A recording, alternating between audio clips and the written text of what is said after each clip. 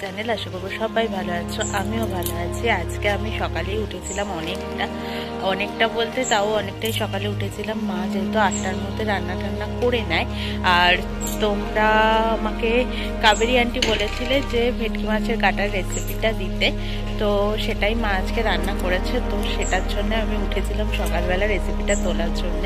আর কিছুই না এত কিছু করছি, তাও ভিউজ আসছে না আমার। যাই হোক, কালকেই বলেছি, বোধহয় কোথাও বোর ফিল হচ্ছ তো চেষ্টা করব অন্যরকম কিছু বানানোর। এখন যাব একটু পরে। আমি ফুলগুলোকে দেখানোর জন্যই এসেছিলাম। যে ছোট্ট ছোট্ট হয়ে রয়েছে। তো চলো এবার ঘরে। মান্দান তো অনেক আগেই হয়ে গেছে। ওটা তো বলারই কথা নয়। এখন বাজে পৌনে দুটো। এখন খেতে বসবো। আজকে তো চলে যাব বিকেলে চারটে, সাড়ে চারটের দিকে বেরিয়ে। এখন বসবো খেতে। আজকে খাবার দেখানোর মতো তোমাদেরকে কিছুই নেই। লাল শাক ভাজা, ডালের বড়া ভাজা, আর হচ্ছে মাছের কাটা চচ্চড়িটা। চচ্চড়ি বলছি ওই আর কি, মাছের কাটার। তো সেটাই তোমাদের সাথে রেসিপিটা শেয়ার করতে বলেছিল, তো আমি তুলে রেখে দিয়েছি ভিডিও ক্লিপটা তো চলো আমি খেতে থাকি, ততক্ষণে তোমরা ভিডিও ক্লিপটা দেখতে থাকো যে মা কীভাবে মাছের কাটাটা করেছে, আর আমিও খেয়ে দিয়ে উঠে বলছি তোমাদেরকে যে কেমন হয়েছে। আগের দিন তো মা নাকি বলল যে খুব ভালো হয়েছিল। আর সানডেতে কাকি দিয়ে গেছিল, কাকিটাও খুব ভালো হয়েছিল, আর আজকে তো মাই করেছে, তো দেখা যাক। আর সয়াবিনের রেসিপি দিতে বলেছিলে সয়াবিনের রেসিপি তো দেওয়া যাবেই না, কারণ আমি আর থাকছি না, চলে যাব। আমি কীভাবে করি না করি সেটা তো দেখাই। তবে হ্যাঁ মায়েরটা মিস হয়ে গেল, মায়েরটা দেখানো হয়নি। ওই যে বললাম, একটাই কারণ আমি ঘুমিয়ে থাকি, তাই জন্যে। তো চলো, দেখিয়ে দিই। তো চলো, ভেটকি মাছের কাটার রেসিপির জন্য প্রথমে মাছের কাটাটাকে ভালো করে ভেজে নিয়েছে। তারপর আলুটাকে একটু ভাপ দিয়ে নিয়ে জলটা ফেলে দিয়ে ভাজা বসিয়েছে। ভালো করে ভাজা করতে হবে। তার আগে মা তেলের মধ্যে একটু জিরে ফোড়ন দিয়েছে দেখলেই তেজপাতাটাও ফোড়ন দিল। তো আলুটা এরকমই লাল লাল করে একটু ভেজে নিয়ে মানে মিডিয়াম মতো, তারপর পেঁয়াজ কুচিটাকে দিয়ে দিচ্ছে। এই রে পেঁয়াজ কুচির সাথে রসুন চলে গেছিল একটু। তো পেঁয়াজ কুচিটাকেও ভালো করে আলুর সাথে ভেজে নিচ্ছে।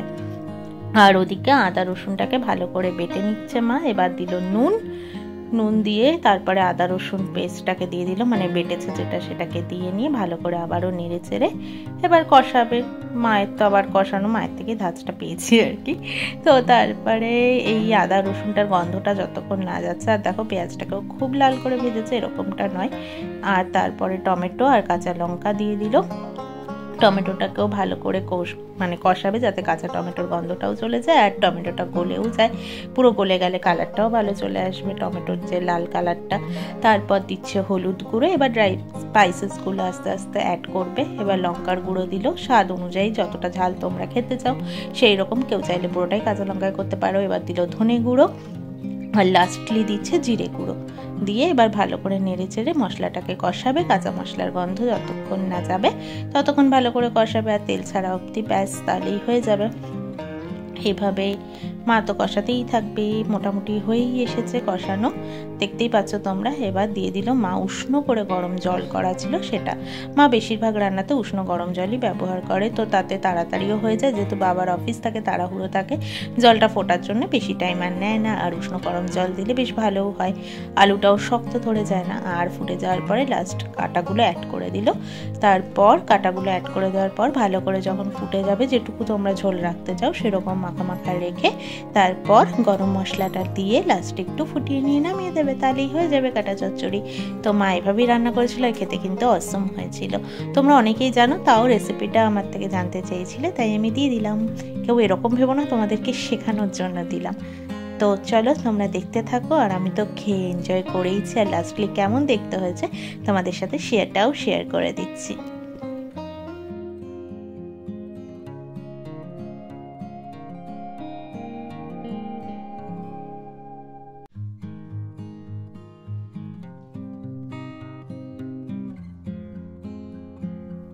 পেছনটা দেখে বুঝতেই পারছ আমি কোথায় বসে আছি। আমি হচ্ছে উড়ন্ত পাখি। এই দেখবে ওখানে, এই দেখবে এখানে।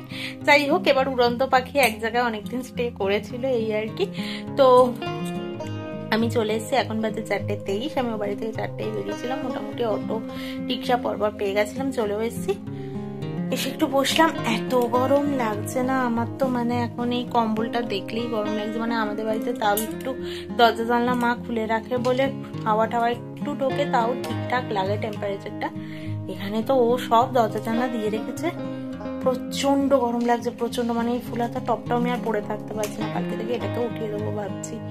মানে এই যে কলকাতায় গরমটা পড়ছে মানে সিরিয়াসলি এত গরম পড়ে এখানে তাও দেখো ছাদ আছে, ওপরে ঘর আছে এসি আছে, তাই জন্য গরমটা সেরকমটা বোঝা যায় না। কিন্তু আমাদের বাড়িতে যেহেতু অ্যাসবেস্টার ছিল মানে অ্যাসবেস্টার আছে, এখনও ছিল নয়, কারণ আমরা বাবা যখন জমি কিনে বাড়ি করেছিল, তখন জমি মিউটেশন ছিল না, তো তাই জন্য ছাদ ঢালাই দিতে পারেনি। তখন মানে আইনত অপরাধ হতো আর কি। তো এখন মিউটেশন হয়েছে জমি, কিন্তু বাবার এখন আর ছাদ ঢালাই দেওয়ার কোনো প্রশ্নই আসে না, কারণ ছাদ ঢালাই দিতে গেলে মা বাবাকে ভাড়া যেতে হবে অন্য জায়গায়। তো আর কোনো দরকারও নেই, মা বাবার তাই জন্য দেয় না।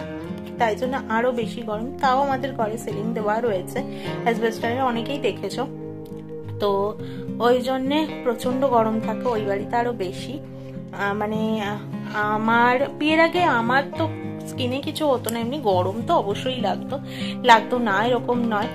আর এই গরমের গল্প অন্য একদিন বলব। তোমাদের সাথে আজকে ব্লগ অনেকটা বড় হয়ে যাবে, আর এমনিও তোমরা হয়তো বোর ফিল করছ, তাই জন্য আমাকে এমনিও কন্টেন্ট কিছু একটা চেঞ্জ করতে হবে। তো দেখা যাক কি করতে পারি।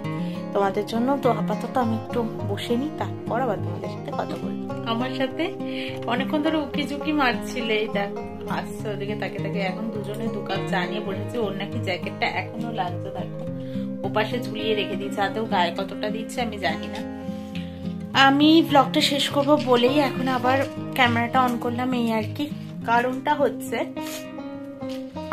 আজকে মোটামুটি ব্লগটা দাঁড়িয়ে গেছে টাইম মতো, ওই জন্য আর আরও একটা কথা তোমাদের সাথে সকাল থেকে শেয়ার করব করব ভেবেও ভুলে গেছি। ও যখন ব্যাঙ্গালোরে প্রথম চাকরির জন্য অ্যাপ্লাই করে, তারপর যখন ও পায়, তারপর যখন ও ব্যাঙ্গালোর একবার গেছিল, কদিনের জন্য গেছিল? হাট প্রথমটা একা যখন গেলে? মাঝে একদিন। মাঝে একদিনের জন্য গেছিল। ওই ধরো শনিবার গিয়েছিল আবার রোববার ওখান থেকে ব্যাক করেছিল শুক্রবার গেছিল এরকম কিছু একটা। ওই নতুন অফিসে জয়েন করার পর অফিস দেখতেই গেছিল আর কি ওই রকম তারপর তো ওটা বিয়ের আগে একদমই। বিয়ের আগেও দেড় বছর নয় এক বছর নাগাদ ঘরে বসেই কাজ করেছে আর কি। ওর ওয়ার্ক ফ্রম হোম অনেক বছর ধরেই চলছে। তো আমি করোনা যত বছর হলো, দু বছর, আড়াই বছর মতো ঘরেই রয়েছে। তো, আর বিয়ের পর তো আমি দেখতাম work from home work from home hot হঠাৎই একদিন মানে এক রাত আগে ফোন এসেছিল মানে আজকে বাইশে ফেব্রুয়ারি, একুশে ফেব্রুয়ারি ফোন এসেছিল যে, ওকে একটু অফিসের কাজের জন্য এক সপ্তাহ ব্যাঙ্গালোর যেতে হবে। তো সেই মুহূর্তে আমরা কিছুতেই ডিসিশন নিতে পারছিলাম না যে আমাদের কি করা উচিত। মানে একুশে ফেব্রুয়ারি না কুড়ি ফেব্রুয়ারি বলেছিল আমাদেরকে বাইশে ফেব্রুয়ারি বেরোতে হবে। তো আমরা কিছুই বুঝতে পারি না যে কি করা উচিত। সেই টাইমে মামুনি বাড়ি ছিল না, মামুনি গেছিল রামপুরহাট। পাপা ছিল, তো পাপাকে বলার পর তো পাপা আমাকে কিছুতেই যেতে দেবে না। মানে ওকে বলছে, তুই একা যা, কারণ ওকে কোথায় রাখবি? কারণ আমাদের তো ওখানে বাড়ি নেওয়া ছিল না তখন।